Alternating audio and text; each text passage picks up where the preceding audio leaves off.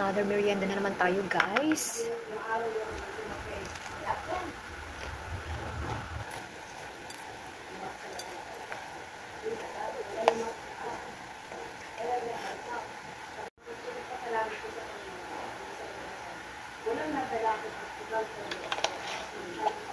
Tara, let's eat na guys. This is a cucumber. Hindi man siya kompleto pero at least salt, black pepper, and then vinegar lang.